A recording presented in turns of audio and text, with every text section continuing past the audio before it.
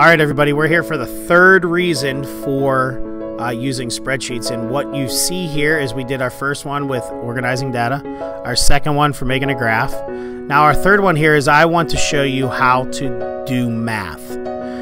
What's really nice about a spreadsheet, it does math. There's two different ways that you can do math easily. And we're going to start with right here. We're going to add up our total games for each of these teams. And when you want to do adding or subtracting or any kind of math, you want to start off in a cell and hit the equal sign. The equal sign does math. It tells the spreadsheet, okay, looks like I'm going to do some computation. Now you could enter in numbers, 7 plus 8, and it says 15, right? We don't want to do that. I want you to use the equal sign and then refer to cells. Meaning, I'm going to click this cell right here. See how it says B3? I, I clicked B3. I'm going to hit plus. I'm going to hit C3. And I'm going to hit return for enter. And it gets me my total of 16 games. It does the math for you. Now, everybody, you're probably saying, well, why do we have to do that? I know what 13 plus 3 is. Well, there's a secret little thing I want to show you here, but I want to do one more time. Hit the equal sign. I'm going to hit B4 plus C4, and I'm going to hit enter. 16 games.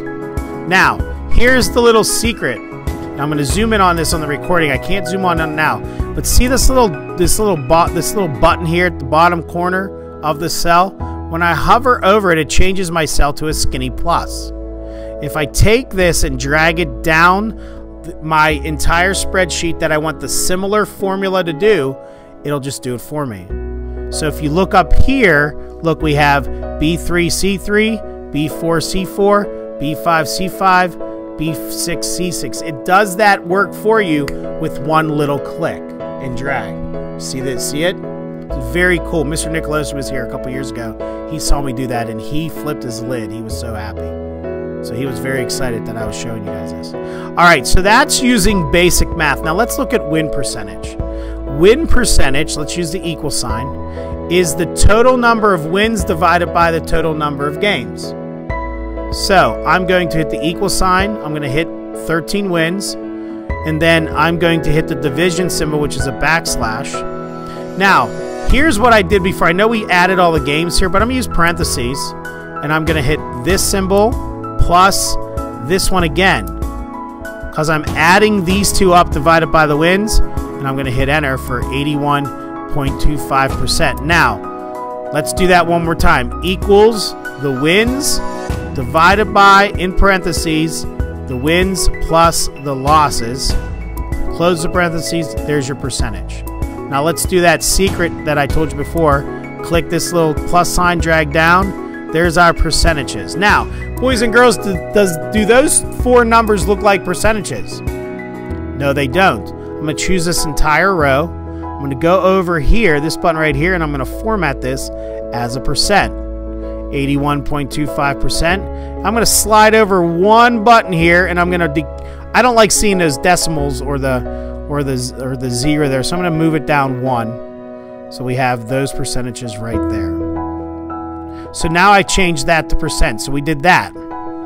Let's go down here. There's another way to do math on a spreadsheet, and that is using formulas. This symbol right here in the top right corner is called functions. And the top five functions, if you click the arrow, there are hundreds of functions in here.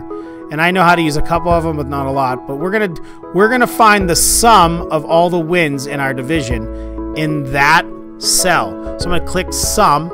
Now somebody tell me what sum means. Good.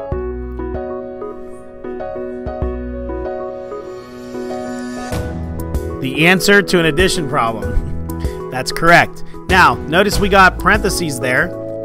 Okay, what it wants me to do is it wants me to click and drag uh, to the numbers or cells that you want to add. So I'm just going to do this. Hit enter. And that's 28 wins right there. Very simple. Now, if we use our little sneaky toy, I can go right here to this, to the button, come across here, and it's going to add up this column, the same formula, going to be 36. So look at this. 3 plus 7 is 10, plus 10 is 20, plus 16, 36. They did it. Now, I don't want to add up all the games, so we have a 28 out of 36. Let's see what the win percentage is for our division. So we're going to start with equals. We're going to now this is interesting. This is new. They give you they give you uh, suggested um, formulas. And it looks like this is the one I want. B8 divided by B8 plus C8, correct? I hit that. And, and our percentage for the division is 43.8%. And that is correct. Now, for average, the average total wins for the division, we're going to use the same function, but we're going to use average. And then I'm going to highlight my four tat my four cells, hit enter, and the average amount of wins is seven. I'm going to I'm going to do my little secret for the losses. The average amount of losses is 9. And then let's do that over here. Once again, we're going to do B9 plus C9 divided or B9 divided by B9 plus C9 and our percentage should be the same at 43.8%. So do you see how we had we started with our first video with a very little bit about data, but now look at it. Look at all that data we have just from wins, losses, and four teams. Some good stuff, guys. There you go. There.